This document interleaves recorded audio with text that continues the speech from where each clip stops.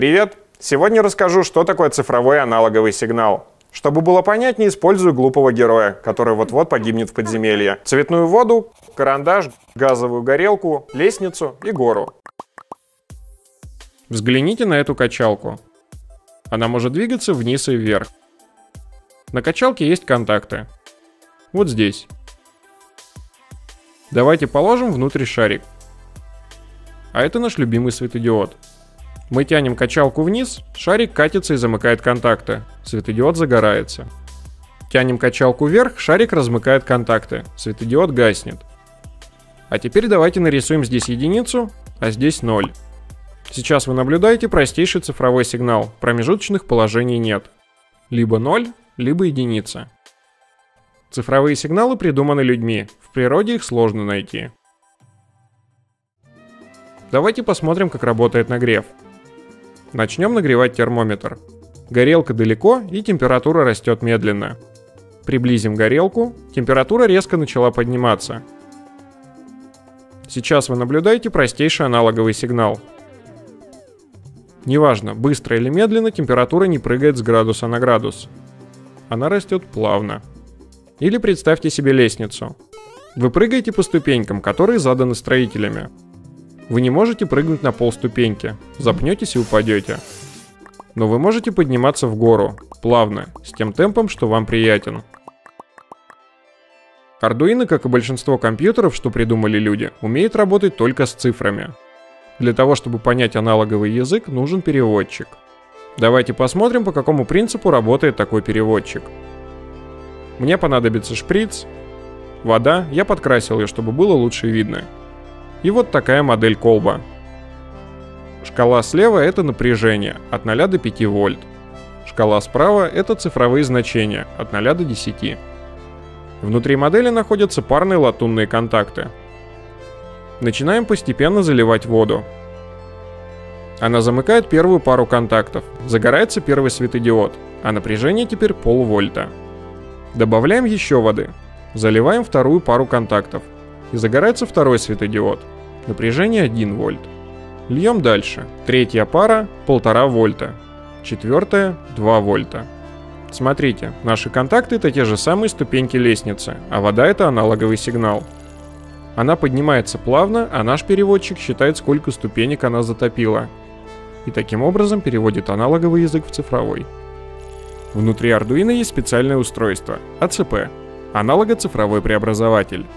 Он принимает входящий аналоговый сигнал и преобразует его в цифровой. АЦП вы увидеть не сможете, аппаратная часть спрятана внутри чипа.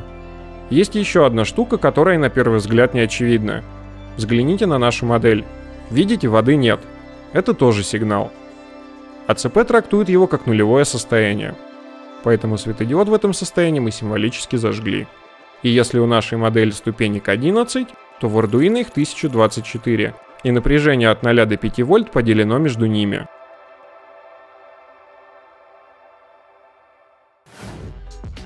Лучше всего учиться по урокам, повторяя за мной. Мы собрали крутые компоненты в набор матрешка.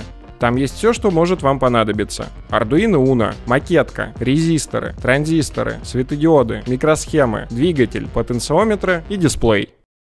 И в благодарность за то, что вы смотрите мои уроки, я дарю скидку в 15%. Внимательно смотрите видео дальше, и вы найдете кодовое слово. Вбейте его при оформлении заказа до 2 августа 2019 года. Ну а ссылка на набор внизу в описании. А теперь я расскажу вам, что такое потенциометр. Он выглядит так. Чтобы вы лучше поняли, как он работает, я сделал небольшой стенд. В центре наждачная бумага. Слева и справа контакты. Их можно поворачивать, чтобы подвести или убрать напряжение. Для этого подойдет любая батарейка. Также мне понадобится карандаш. Натираю графит с помощью наждачной бумаги.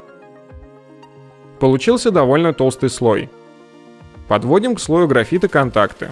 Плюс и минус. По графиту побежал ток.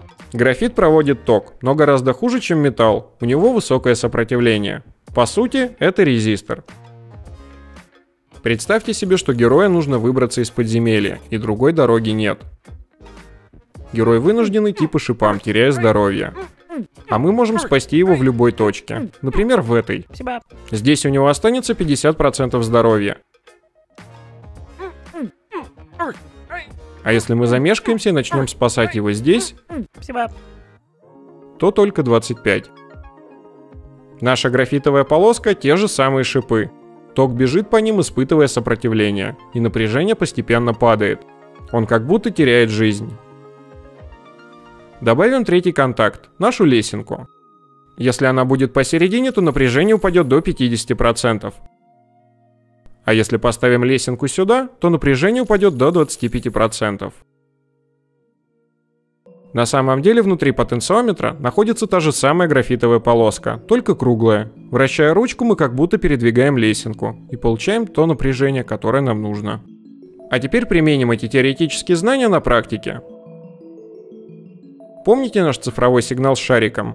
Неважно, какой угол был у качалки. Светодиод либо зажигался, либо газ.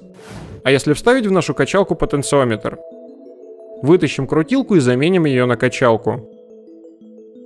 Теперь мы не просто зажигаем светодиод, а меняем его яркость.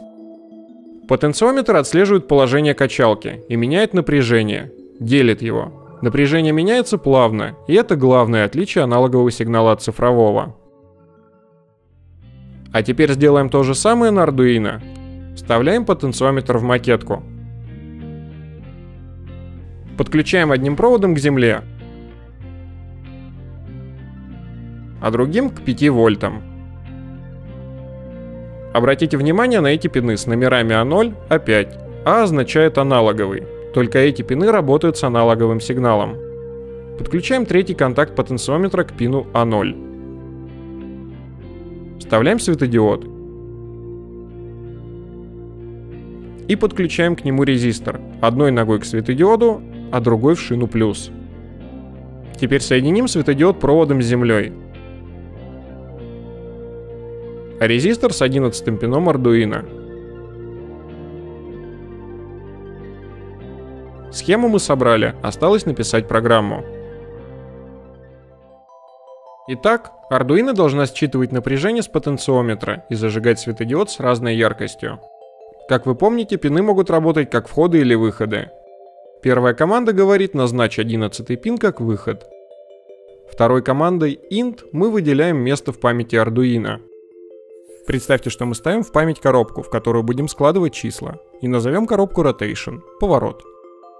Третья команда говорит, положив коробку с именем поворот число, а число возьми спина А0. Туда подключен наш потенциометр. Как помните, он вращается и передает аналоговый сигнал, который АЦП разбивает на ступеньки от 0 до 1023. То есть, вращая ручку, в коробке будут оказываться разные числа от 0 до 1023. Четвертой командой выделим еще одну коробку в памяти Arduino. Назовем ее Brightness, то есть яркость. Чтобы понять, какая яркость у нас будет, нам нужна пятая команда. Она говорит, загляни в коробку поворот, возьми оттуда число и раздели его на 4. А зачем нам вообще было делить поворот? Это нужно для шестой команды. Она запускает широтно-импульсную модуляцию, ШИМ, на 11 пине. Как вы помните из прошлого урока, в Arduino менять яркость светодиода можно при помощи ШИМ. А ШИМ понимает только отрезок от 0 до 255. Готово. Теперь я могу изменять яркость светодиода, поворачивая ручку потенциометра.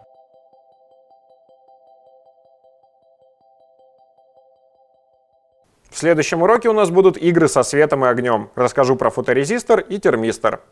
Покеда!